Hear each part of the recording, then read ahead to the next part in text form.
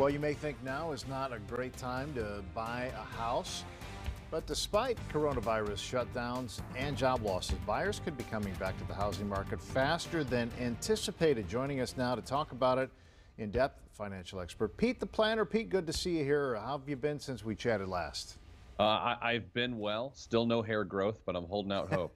well, you, you still have the chin. That that is a, ripe That's territory true. there. So. Um, uh, talk to me about um, you know mortgage applications. Do you know where they stand? Because that tends to be um, a pretty good barometer.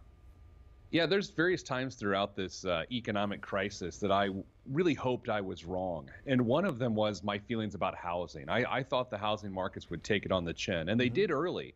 You know, uh, mortgage applications for home buying were down 35 percent off previous years just six weeks ago. But Ray, I'll tell you great news this morning.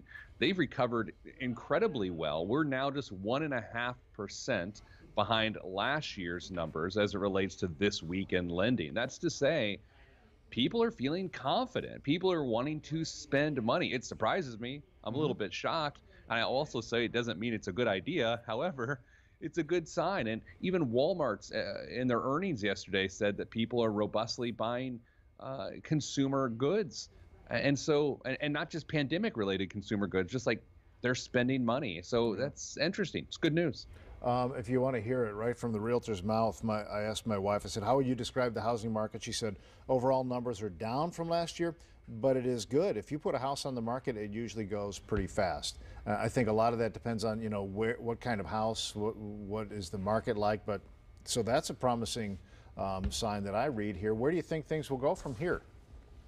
Well, I, I, think, especially in Indiana, the next three weeks are everything. Uh, not to be overly dramatic more than usual, uh, but I, I, think it'll really depend of what's what the uptick of viruses are, and if we don't see much of an uptick, I I, th- I think things will begin to really start opening up. And the key, of course, is these jobs coming back before July, which is sort of the drop dead of when the enhancement ends on unemployment benefits. But I'll say, all things considered, what is today? Uh, May 20th. We're in a pretty good spot right now, and I can't believe I'm saying that. you know, they, they say location, location, location. I think right now it's vaccine, vaccine, vaccine. And the quicker we have, you know, a definitive uh, word that gives us a lot of clarity, I think that will help solve, you know, not all of, but a, a lot of our, our financial, you know, uncertainty right now. Yeah, the, the next big number to come out will be early June when we see May's consumer confidence numbers. Uh, those are a leading indicator of what people are doing. Obviously, down in March, down in April. Will that downward trend continue or will it tick up? I think it's going to tick up, which could really skyrocket the economy. And plus, the cicadas are coming back after 17 years the 17 oh, year cicada. News. Sounds like a plague or something. um, Pete, always great to chat with you. We, we appreciate, I don't know what the cicada has to do with any of it, but it's a 17 year cycle, and what we're talking about is cyclical.